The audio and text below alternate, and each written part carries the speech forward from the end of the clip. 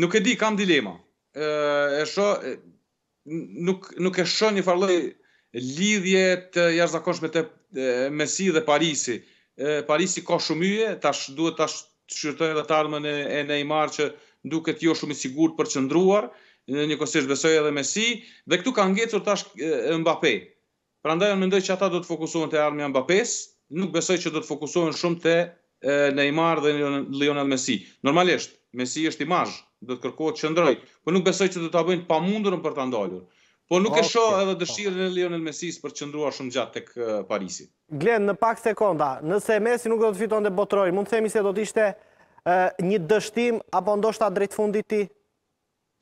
Jo, nuk besoj, edhe nëse Messi nuk e fitonte Botërorin, ajo çfarë ka bërë mbetet. Mos harrojmë që Messi ka fituar gjithçka tjetër, kish fituar të paktën përveç Botërorit deri në atë moment, duke fituar edhe Copa America.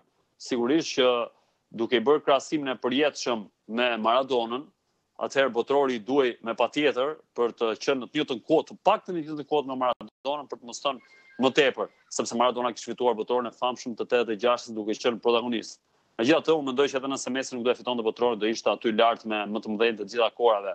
Ashtu si uh, akoma nuk i ndaj, nuk e them dot për shkak të ndryshimit të epokave që është Messi më i madhi i të gjitha kohërave. Messi për mendimin tim është më i madhi i epokës që unë kam përjetuar, por jo i të gjitha kohërave sepse do ishte mungesë respekti ndaj atyre që kanë luajtur në atë periudhë të shkuar dhe ndaj personave që i kanë ndjekur në atë periudhë. Kështu që Messit i duhej ky botëror në planin personal i duhej jashtëzakonisht shumë, sepse tashmë është i plotësuar, nuk i mungon asgjë, por un personalisht nuk mendoj që edhe nëse nuk do e fitonte botërorin, Messi do do kishte një rënie të madhështisë që ka.